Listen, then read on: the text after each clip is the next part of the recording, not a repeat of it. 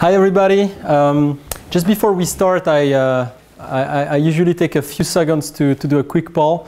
Um, so, who is more of a, a CIO or VP level uh, in an organization? Okay, who is typically a manager, so with responsibility for, for teams, one team or many teams? Okay, who uh, is a developer? Okay, who is an IT person, IT ops, okay, DevOps maybe, okay. who is using the public cloud, like Amazon Web Services, for example, or others, okay, who is thinking about using the cloud, okay, who never raised their hand. You're probably in the wrong room.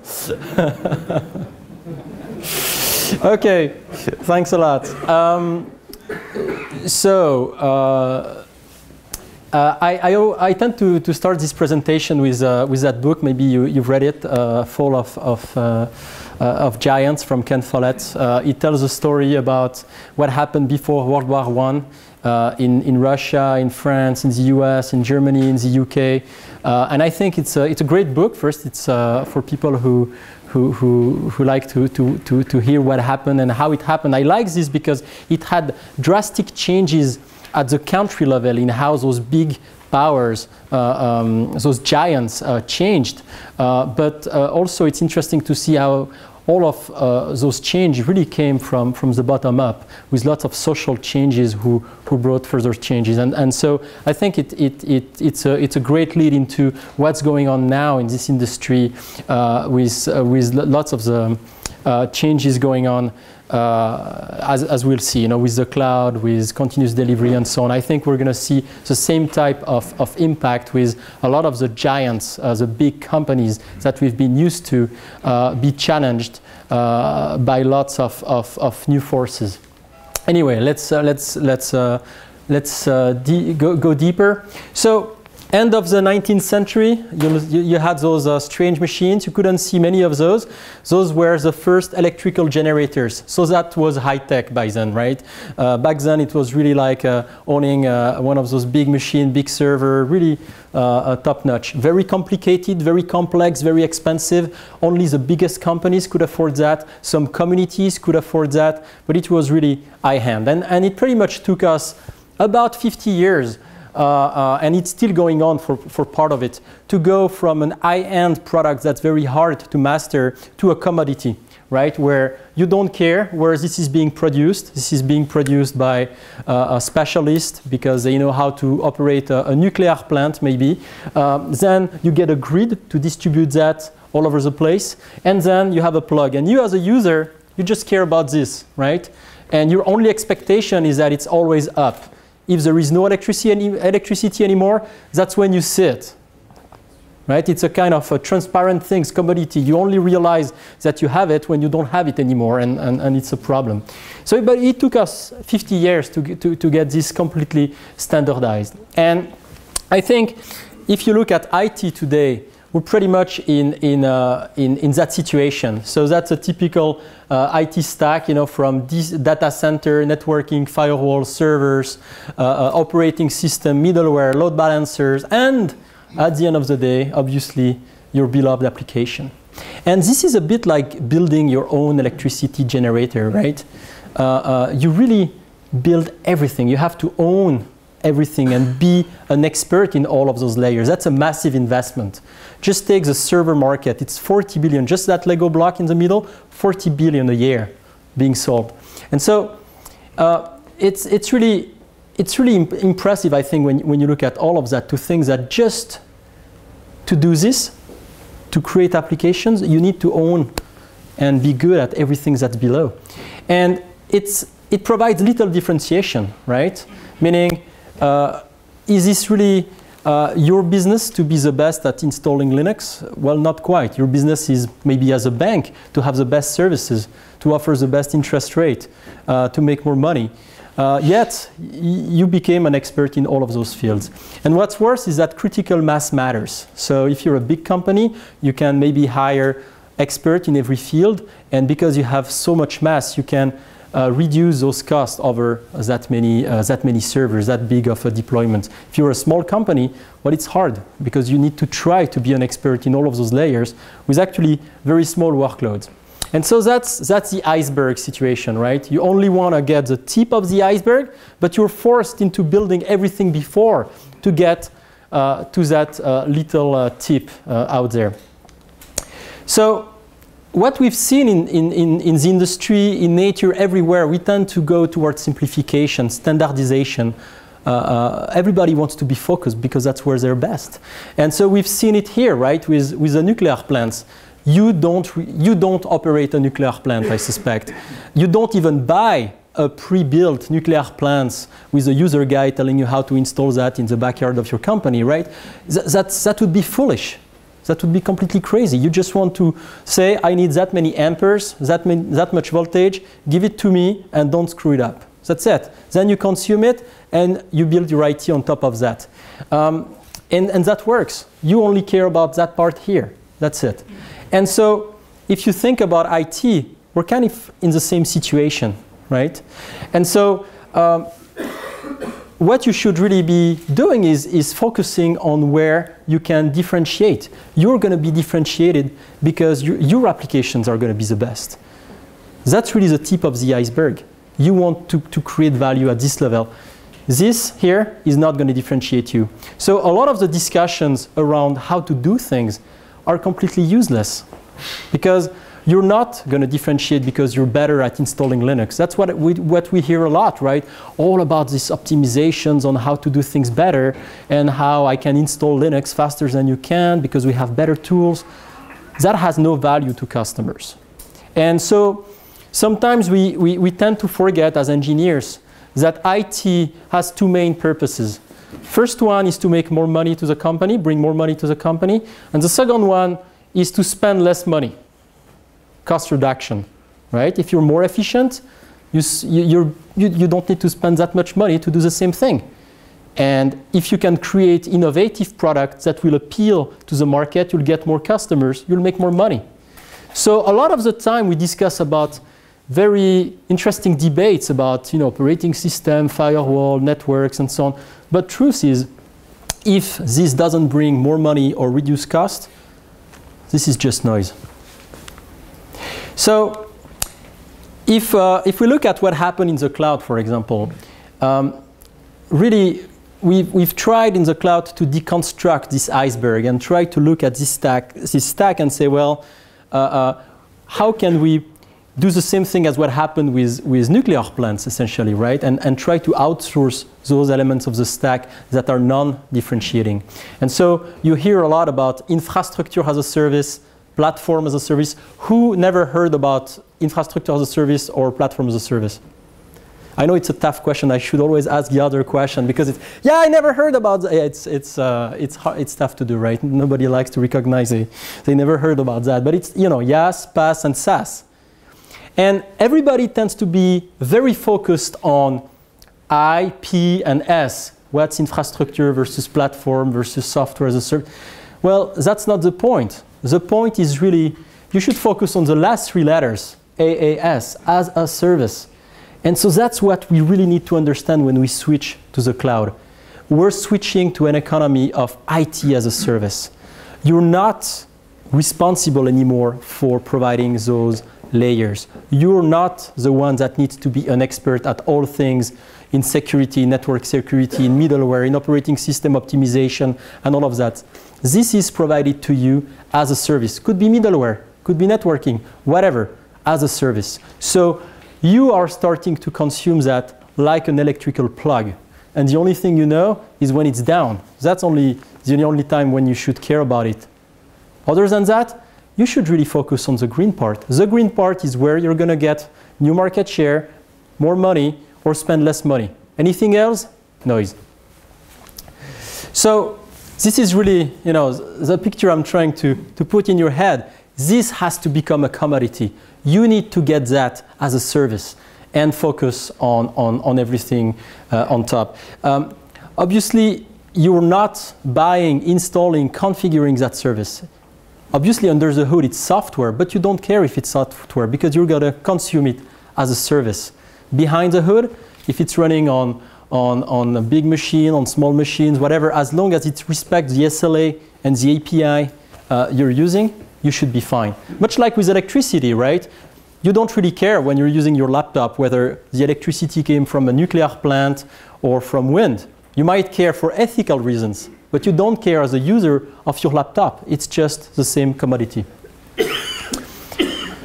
and so the idea here is to increase or to reduce to get a better time to market because you don't need to focus on all of those matters. It's to get a competitive advantage, reduce your capex, uh, reduce your capex and, and opex. We're going to obviously talk more about that because cloud is not just the magical answer to, to, those, uh, to, to those topics. But, but really, if the, ba the basic equation you can have is you're going to be spending 100 in your company on marketing, sales, engineering, G&A, whatever. Let's say you're going to be spending 10 or 15 on IT, all, all things IT. How much of those 15 are going to be for new projects, new product differentiation, and how much is going to go to building a nuclear plant? And you decide where you put that cursor, right? Is it maybe two points out of 15? Is it eight? Is it 10? If it's 10, it's five times better than it, if it's two. So it makes a big difference.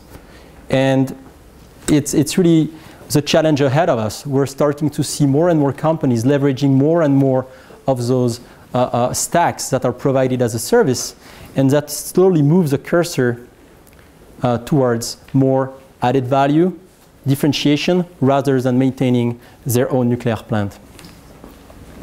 So that's a big change that's taking place on, on the market. And what does it mean? So one part is, is really what does it mean for the market, for the big vendors we're seeing? And the next part I'd like to go through is what does it mean for you, right? It's good to see what happens at almost a philosophical level on the market for those vendors, but then it probably has an impact for you as a company, as an end user as well. So for the giants, what I did here is I, I, took the same stack and I've put some of the names uh, that provide solutions for those, for those items. You'll probably recognize a, quite a few of those vendors. There are many more, obviously. We, we saw that just you know the HP, Dell, uh, IBM, and so on. That's 40 billion per year. So uh, you have quite a few uh, vendors that can be part uh, in, in that market. And just look at at what happens. Like that's a PC market. That's a growth in 2013. We see a, a, a, reduction in, in, in how those companies can sell those servers or those machines just because the market is moving away from those way of consuming uh, IT. Uh, uh, that's Oracle and IBM on average, you know, stable, going down for IBM. It's, it doesn't mean that those companies are not doing the right thing. It's, it's just hard, right? Because the more you consume uh, uh, cloud resources, for example, the less you're going to buy net new servers uh, um, in a traditional fashion. You're not going to consume servers on, you know, buy new servers on both sides you have to choose where you want to go. Um, and this one is interesting as well. So the PC shipment growth rate, we see that it went, it, it's clearly going down. And this line here is when the iPad was launched. So I'm not trying to say here that the iPad is a magical solution and you just need an iPad and, and you, will be fine. You don't need a, a desktop to do your job. No, you still need. But we can see that it's not just on the server side that the impact happens. If you remember the picture we had between nuclear plants, distribution, and uh, the plug, the, the standard plug, we're kind of seeing the same thing take place in IT with a standardization slowly taking place. It's going to take decades, you know, it's not going to happen overnight. But uh, on the server with the as a service model, yes, PaaS, SaaS, whatever we want to uh, slice it, who cares? Then we have this distribution network in the case of IT, it's very, it's very uh, uh, advanced. It's called the internet, right? We have our own distribution network already. And then the client, HTML5 is becoming the new plug. And it's impacting everybody. I suspect that if you had to implement new applications today, you would probably think about mobile application, native, native mobile application, or HTML applications. If you remember just a few years ago when there was this drama between Adobe and Apple on Flash, everybody was so excited about, yeah, but are you pro or against Flash? do we even discuss that topic anymore? No, it's, it's, it's over, right? Who would start today a project based on Flash for, for their customer, right? And so, so, so, so HTML5 is becoming this new plug. So we, are seeing this standardization slowly taking place uh, on the market uh, and, and really disrupting uh, a lot of those, those vendors. And so those vendors are really under attack from all over the place. And what's interesting when you have disruption is that typically if you're a big vendor, you don't need to be the best. You can be number two, number three, but you're like a spider. You have many feet, and once one of your feet is under attack, say the database business or the operating system, well, it hurts, but you have seven other feet to play on.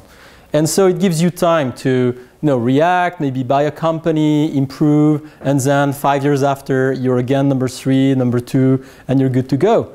But what's interesting here is that we're seeing a, a big change for five, ten years where you have cloud, big data, the change on the client side, mobile or, or truly clients, social, search. And we see lots of the giants that were playing on many of those fields being attacked on all of their feet. And that's unique because they have to keep revenue stream active and many revenue, healthy revenue stream active at the same time. But once you're under attack on many of those, it becomes very hard to, to cross the chasm and go beyond that.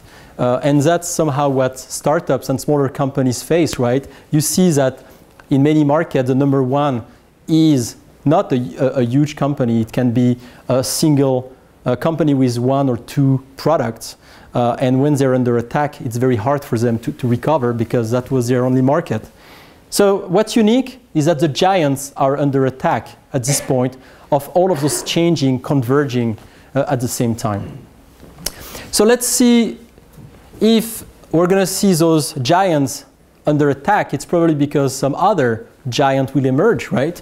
I think one of them is AWS, that's Amazon Web Services. So Amazon is known for selling books uh, for selling many things. And many people, if you ask people not in IT, you would ask, uh, do you know what AWS Amazon is, is doing? They would purely say books, that's it. But actually, Amazon is the number one in cloud, in public cloud.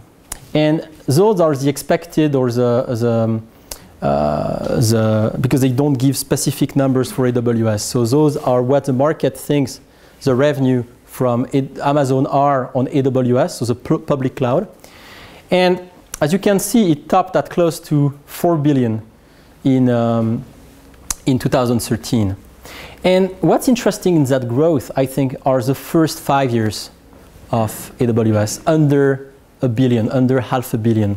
And that, I think, is the reason why a lot of people still speak about AWS in a slightly condescending manner.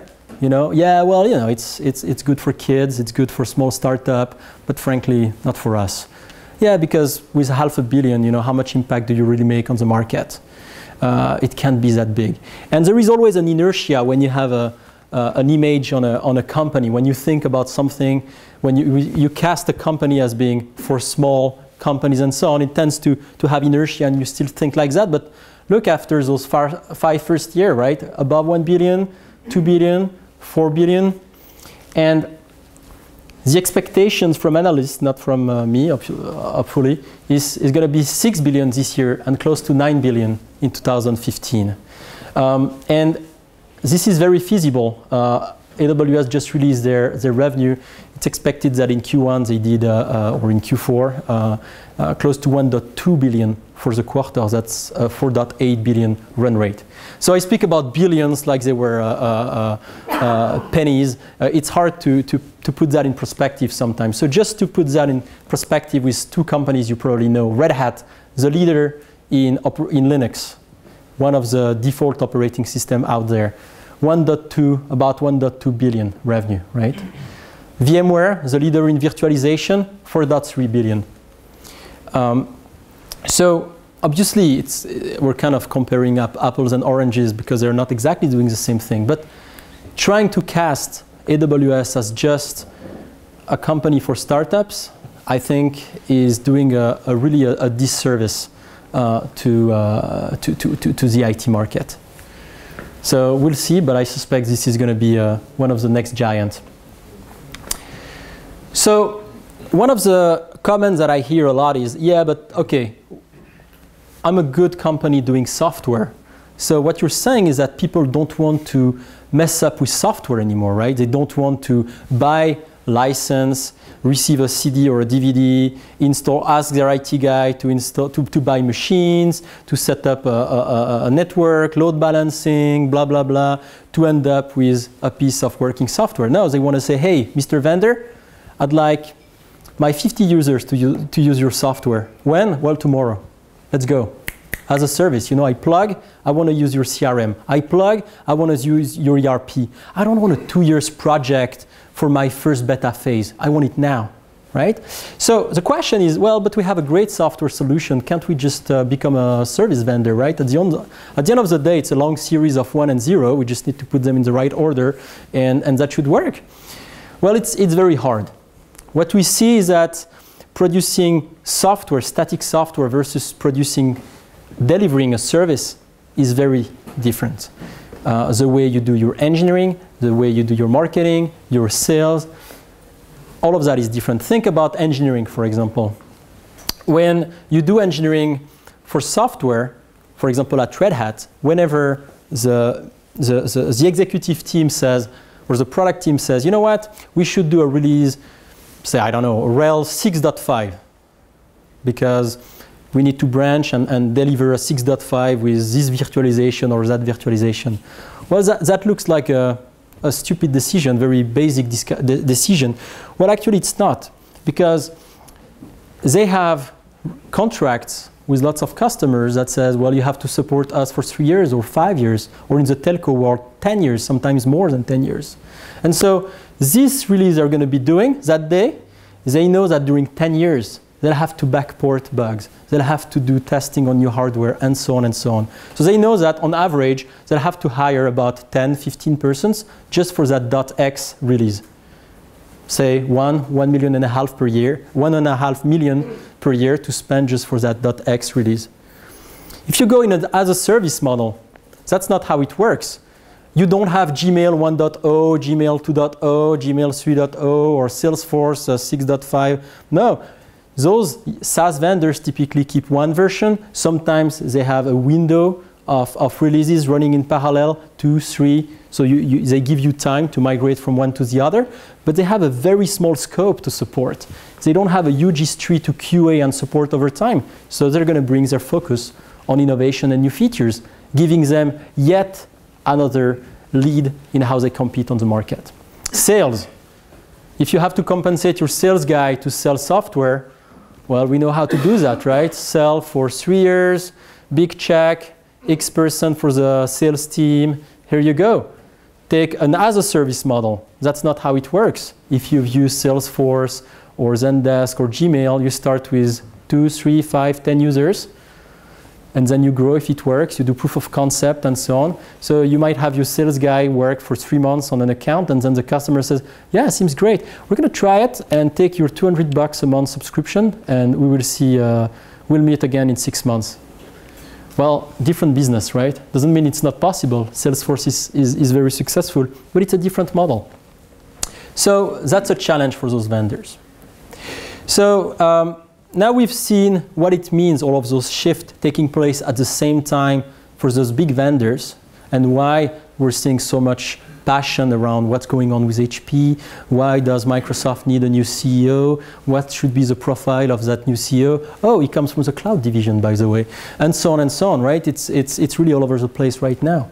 But what does it mean for us, for you as user of that technology, as customers of those big guys? Well, don't follow the giants or don't become a giant yourself. I guess that's, that's, uh, that's, that's uh, the bottom line. Um, I think the way to win is to focus on market differentiation. Again, if you have 15% of your P&L that you're going to be spending uh, on, on IT related tasks, how much are you going to allocate to differentiation versus keeping the lights up? That's really your choice. Um, and so uh, if, we, if, we, uh, if we look at this stack again, uh, IaaS, PaaS, and, applica application, uh, it's obvious that one way to do that is, is to focus on application. So, well, my my uh, advice would be to go and use more of the cloud. It's not the only answer. We're going to talk about CI, continuous delivery as well. But a, a clear part of the answer is to delegate those non-core issues to somebody else and not think that because you're very good at maintaining WebLogic, JBoss, and Linux, that you're going to win on the market. So how to get there? Because it's one thing to say, ah, just outsource and you're good to go. Okay, good. But uh, wait, uh, we have like IT assets that are 10 years old, 20 years old. How do we do with that? Well, one option is to move everything to the cloud in one snap. Um, that's what I call the, the punk approach. Um, and uh, that might work, especially if you're a small company. I suspect that's not uh, what you want to try. So one of the solutions that we've seen work very well is what we call core IT and fast IT. So what is core IT and fast IT? It's, it's almost like a, a mini methodology uh, that can help companies get started on creating more innovation. So that's where companies are today, typically, right? You have your own data center. Maybe you are renting some space at a, uh, at a colo uh, data center you have Oracle databases, IBM, WebSphere, SAP for your CRM, ERP, and so on. So, you know, pretty traditional, nothing, nothing fancy here. Um, and then you need to go there. So what that means is that you have your VP of marketing coming to you and saying, hey, uh, we, we do need a mobile application for our services. Oh yeah? W when do you need that? Well, like tomorrow because you know what? In that new world, if we don't have a mobile application, we're not talking to our customers. People just want to sit on their iPad, want to sit on their iPhone. If they have to go and use sophisticated tools, nah, I don't have time. You know, I want to do that while I'm on the bus or the subway or when I'm working. I don't want to do something specific just because I'm using the software of that bank or that insurance. So I need this. I really need this. Plus the competition has it, so we need it. So it's tough, right? Because you're not going to write your new Android and, and, iPhone application that goes hop directly into your ERP. Uh, and uh, yeah, I just put some big fat uh, Java driver from SAP in my Android application. We're good to go. You realize it's not going to work. Plus, most of the time, you don't really know what you need. Because you're going to say, you're going to tell your VP of marketing, okay, but what do you need? I don't know. I mean, you know, something kind of cool and sexy and I should be able to access the main features. Yeah? Uh, can you be a bit less specific here? You don't know. There is some discovery that needs to take place. And that discovery, trying to find what's the right angle, takes time, takes iteration. Can you do iterations and fast processes here? Most of the time you can't. Your core IT environment is relatively strict if you want to order a new uh, server, you typically have to uh, uh, uh, fill in a form and wait six months to get an empty, an empty server. That's not where you're going to do a lot of experimentation. Yet you have to. So what we've seen work is what we call fast IT. And so those companies are not trying to negate core IT. It's here. There is no reason to hide it. There is no reason to even change it. It's working. Don't change that, something that's working. Plus you have dozens of projects to do here. You know, things are never perfect, I suspect. You have the new version of SAP to install, so the IT team is certainly not lacking any work. But what you can do with Fast IT is kind of instantiate um, a mini version of your core IT with a development environment that makes it possible for your development teams to start a new project, code, test, do continuous integration, continuous delivery, push to staging, push to production, maybe push to multiple regions. So you want to push in the US, in Europe at the same time. Guess what? They don't need IT to do that. This, those are the best practices we've known for a long time. And so what those fast IT environments, those platform as a service provide, is kind of a, a, a productized version, an automated version of those best practices and they know how to do that very well. And so what this means is that your development team doesn't need to be retrained. They don't need to learn new tools. They don't need to learn new languages. They can start implementing their fancy iOS and Android application and some intermediary application here. The two are going to be communicating together. They're going to be evolving very fast. Maybe you're going to do one release every week, every day. And here, this application, this proxy in the middle, is going to access some of your core IT servers. So maybe for this uh, application that shows your product and, and, and your orders, you need to access the CRM and part of the ERP. So you're going to configure a firewall to just enable that.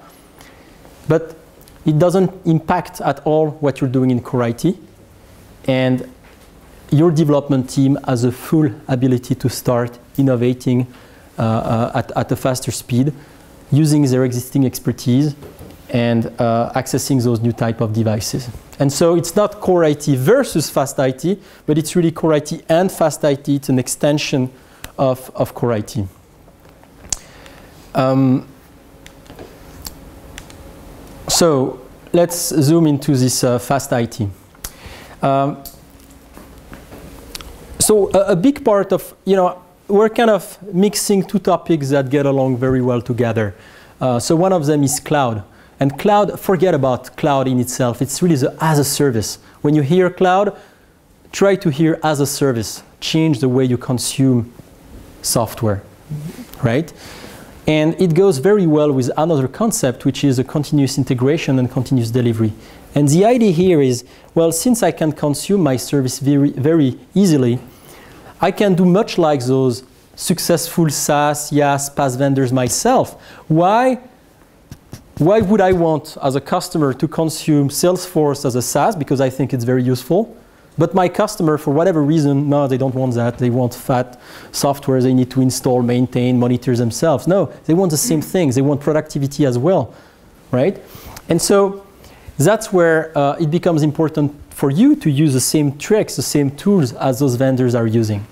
And so if you look at a lot of what's going on in companies today, you have software cycles that are very long. Can be six months, can be nine, 12, 18 months between releases.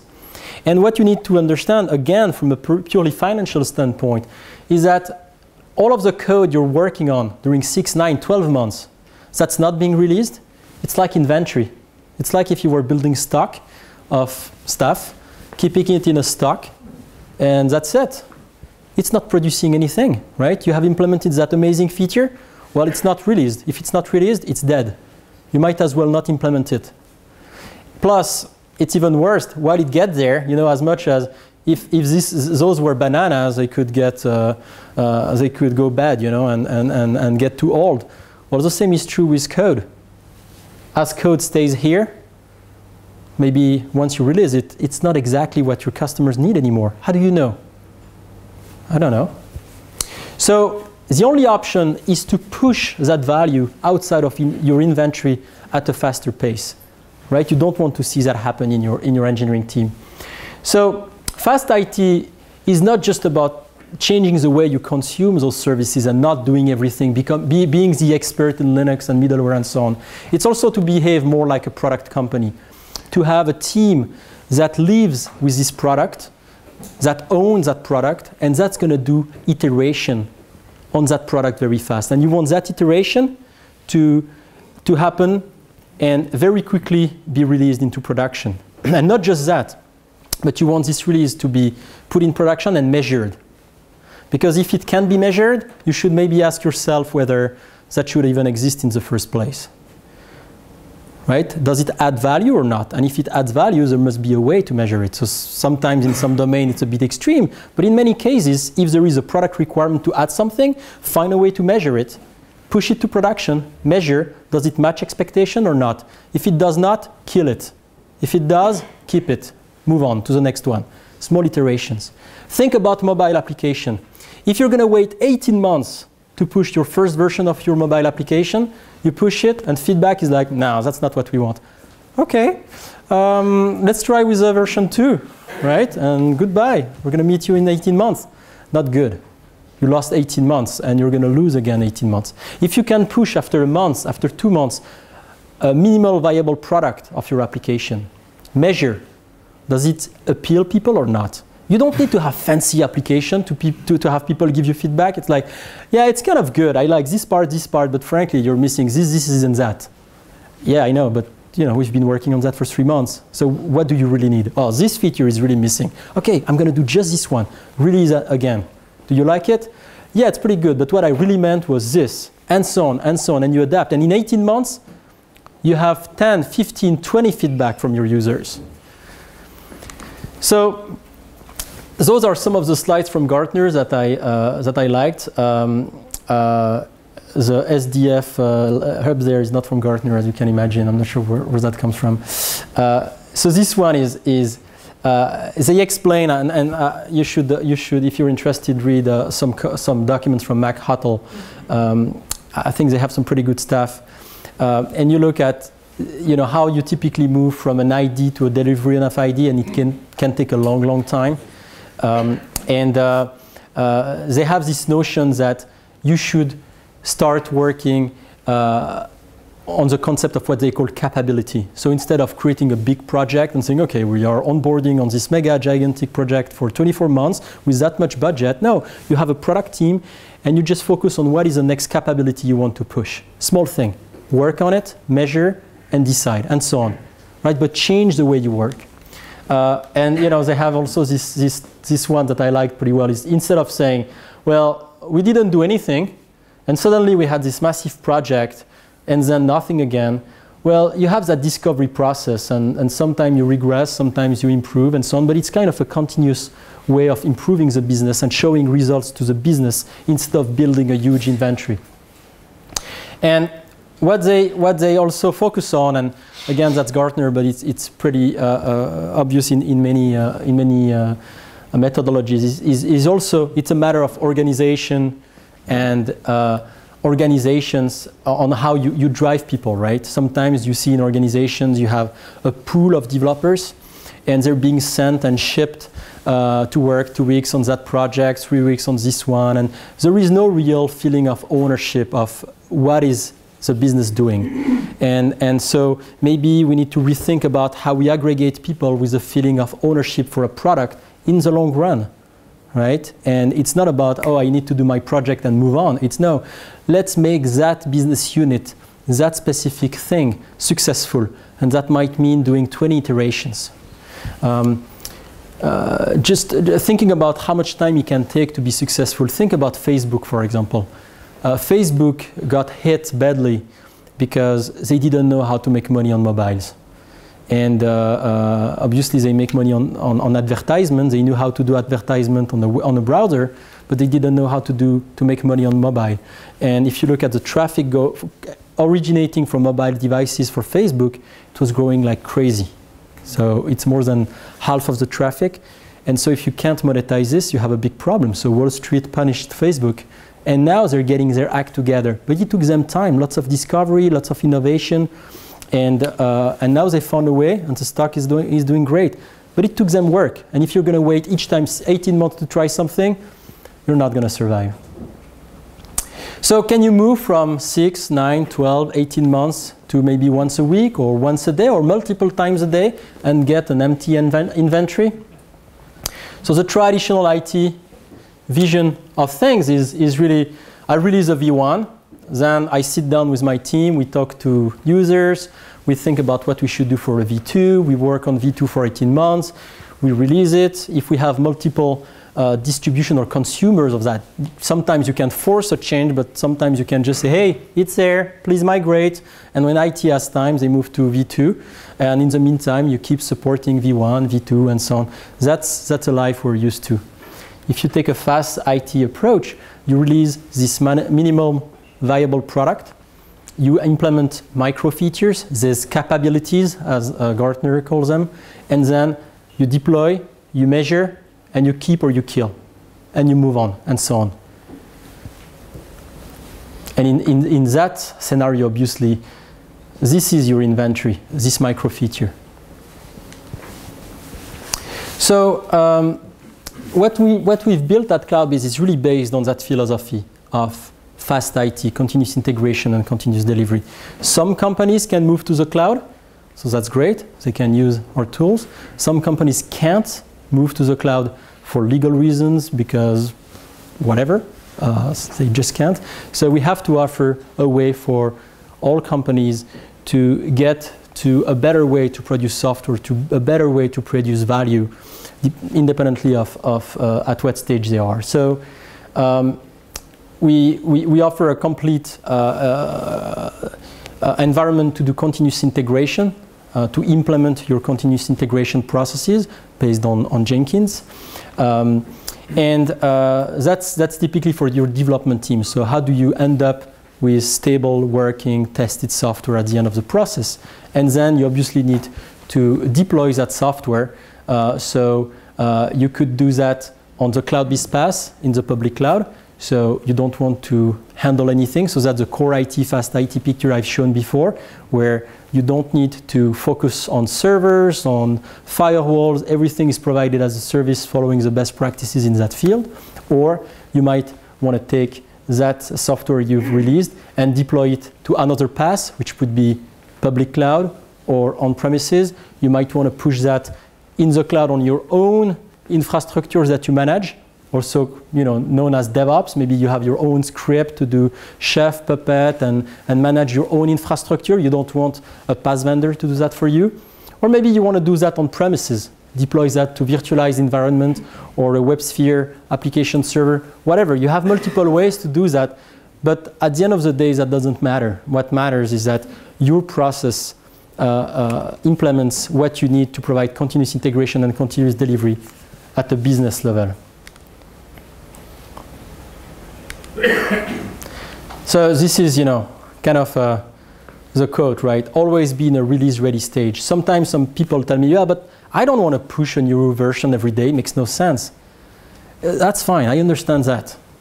Uh, uh, if you are a, car producer, right? Maybe you don't want to push a new version of the software in the car, in every car, every day or twice a day. Okay, fine. But at least you should be ready to do so, right? Maybe the business is going to come and say, oh, we have a, a, big issue, big bug, big security issue. The NSA can drive your car. So we need to push a, a, a patch now. Okay, can we do that? Sure, should be the answer. If your answer is yeah, sure. So we need to apply process P1, P2, P3. What does that mean? It means six months essentially. Okay, well. Uh, so, uh, so, so that, that's, that's the point. Release ready. Doesn't mean you are going to do it, it means you can do it. It's your decision. So, a few words on core IT and fast IT.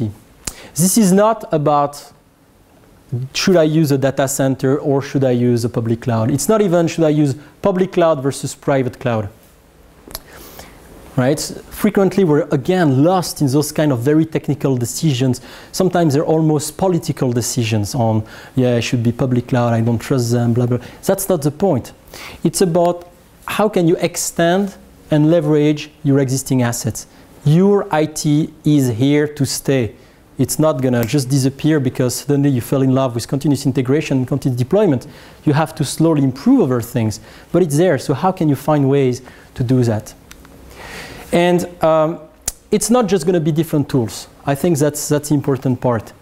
Um, it's it's a bit like SOA a few years back, right? It's the, kind of things where if you if you think that just because you're going to put uh, Jenkins on a PaaS, everything will uh, magically happen, those are implementation tools. What you need to make sure is that you have bottom-up and top-down agreement within the organization to drive such a change. In many companies, the bottom-up movement is, is easy to get. Developers typically want things to get faster. They're excited. They feel like uh, they, they don't produce enough value. They'd like, like to do that.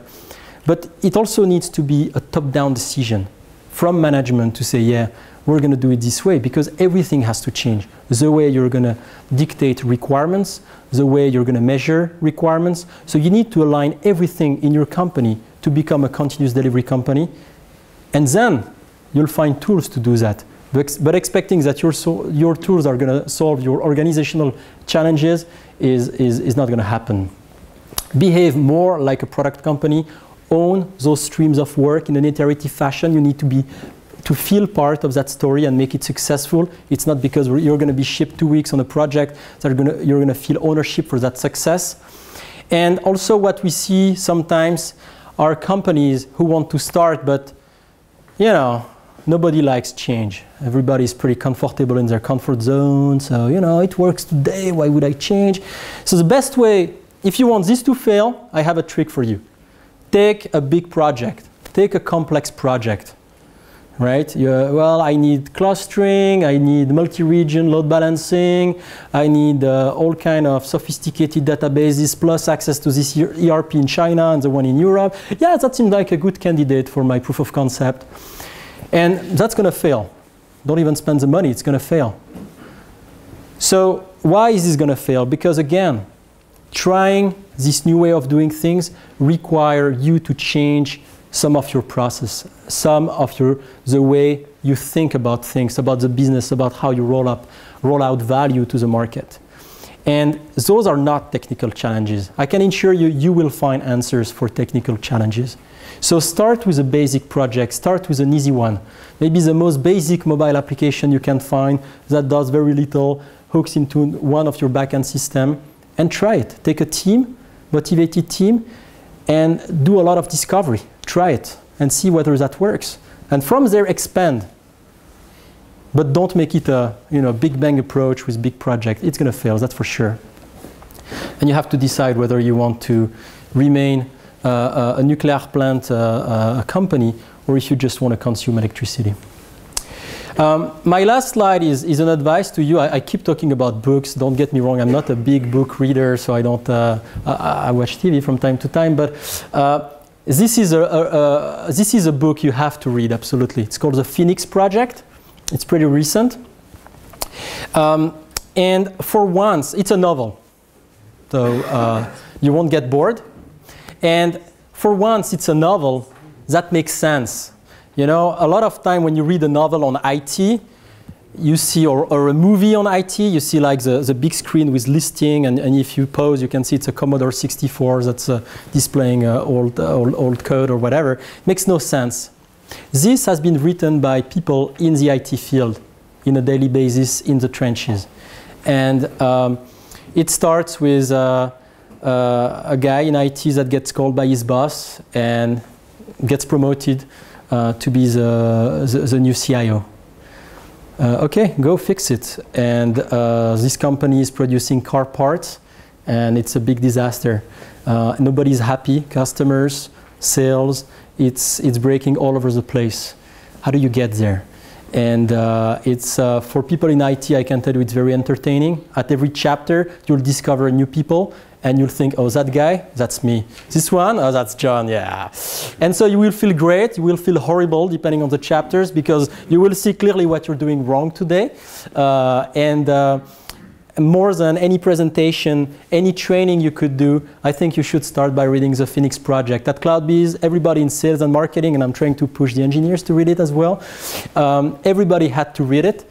Uh, and we even had a, a, a book uh, club a reading session at Christmas uh, because I, I, think it will uh, it will uh, expand uh, what you thought about what you could do in in IT.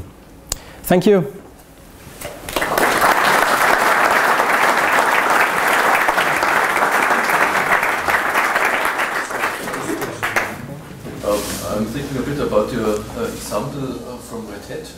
has to support uh, Red Hat 6.5, for example, for 10 years.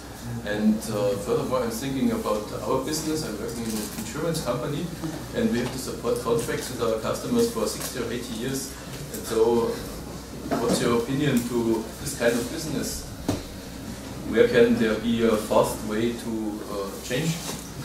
Well, I don't know your business, so uh, I, am not a, an expert in all things, but uh, uh, I, I, don't know what the cost involved in supporting old contracts. In, in I guess it's harder because once you, you, you commit to something through a contract, people have expectations that it's going to last, right? So uh, I'm not sure if I can uh, draw any uh, smart conclusion without knowing that space.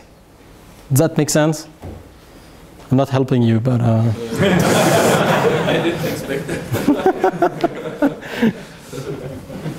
okay.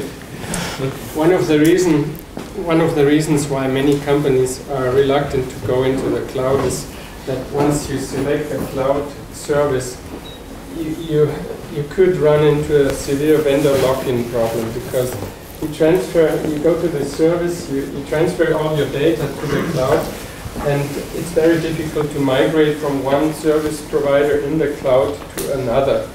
And as an example, if you look at the, the profit margin of Amazon, it's just outrageous. What the profits are estimated to be between 50 and 80 percent. Yeah, so uh, vendor lock-in. So multiple ways to look at that. Um, data and and, and, and then lock-in of your applications per se. When it comes to data, I think the format of your data is going to be whatever database format you're going to choose. So the fact that they've been, they're out in the cloud, I think is a good thing because they're simply getting closer to where your customers are. It doesn't necessarily, uh, I don't address at this point the fact that you might want to move from one vendor to the other, but just the fact that you want to move more of your data to the cloud, I think that's a natural thing. I, I, I suspect that in 10 years, we will consider remote to be your data center. So the boring place where we have to go and grab some data is going to be on premises in the data center, and the default location will be in the cloud where it's more connected and closer to where it's being consumed. While today it's, it's kind of the opposite, right? You have this uh, a lot of assets on premises, your Oracle RAC and so on, and you have this CRM over there, uh, Salesforce, and you keep having to pull and synchronize data. So it's, it's kind of the boring uh, thing, uh, and, and that's gonna, that's gonna swap. Now, in terms of lock-in, I think there are different ways to look at, at lock-in. And, and uh, uh, if, if I focus on PaaS, for example, uh, PaaS has been cast initially as a big vendor lock-in because the first PaaS company out there was Salesforce with Force.com. Force.com came with its uh, own language, uh, it was coming with its own database format, now called database.com, uh, with its own API. Essentially, the day you write one line of force.com, uh, you're screwed. It's locked in. Um, and so a lot of people started equating uh, PaaS with, with lock-in. Now, if you look at what PaaS has become beyond those kind of 4GL type of platform as a service around SaaS, that's, that's a specific, uh, that's kind of a specific scenario if you look at offering like CloudBees, like Cloud, Foundry from uh, Pivotal VMware, from uh, OpenShift from Red Hat, and all of those. Your lock-in, if you look at what you're going to be deploying in those containers, those are going to be Java applications, for example, if you're a Java company. Uh, uh, they're going to be deployed on, on JBoss or on Glassfish or other J2E application servers. So there is no lock-in there. Uh, you can deploy uh, on CloudBees, for example, we're doing some proof of concept with some third-party uh, cloud provider as we speak. Uh, you know, we can do deployment in Europe, in the US, outside of AWS in one click just disappear. What's your lock-in? Your lock-in with us is the API, the UI. Maybe you know you click on deploy on the CloudBees UI, but your database it's MySQL or it's NoSQL, but that's that's pretty much standard uh, JBoss, all of that, that's standard. Load balancer, that's going to be an Nginx or something like this. All of that, you can take it, rebuild it on premise. You won't like it. It's going to be painful because nobody likes to build stacks. But you have no lock-in. So what we see, for example, our company is moving from some existing application to the cloud. They can go, come, and back and forth. There is no such lock-in. I think the lock-in takes place. You have to be careful about lock-in when you start using SaaS directly say salesforce.com, because you have all of your data categorized in a specific data format. But that's no different than what you're doing today. Today, if you're using SAP, don't tell me you don't have lock-in, right? Uh, you're locked into SAP. If you have all of your accounting in an ERP, you're not going to move next year to another ERP. It's going to be a tough decision.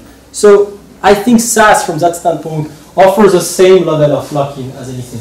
Then the, the example you took before was infrastructure as a service you said, well, if I start having scripts to directly handle my, uh, my infrastructure, my servers on Amazon, how can I go to Rackspace? How can I go to, you know, maybe tomorrow Deutsche Telekom? Well, so it's true it can be uh, uh, a level of lock-in. If you look at the base API, I want server, I want storage, and so on, you're relatively safe. You have plenty of tools you can hear about Chef, about Puppet, about JCloud, a number of tools that abstract away from those vendors. The reason why Amazon is doing such great margins is that they have additional services. Like I want CDN, so the, to cache on dozens of point of presence around the world your, your content so that it's very quickly available. Uh, they're going to offer MySQL as a service. Great to use, you know. Super handy. That took uh, months for your IT team to build these available on, on demand, and so on. So they're offering a number of services. Some of them are not based on standards. If you are using MySQL as a service, you're safe, right? So you might want to do it. If you're going to use SQS, queuing technology, well, it's not standard right, and, and others. So that's where you need to be careful, and sometimes it's hard to resist. It's hard to resist because I can tell you a lot of those services are damn useful and well implemented. So it's tempting to use them, and you start, and it's true. If you have in mind to move away from Amazon, you should be careful in taking in onboarding any of those services because it, it might bite you.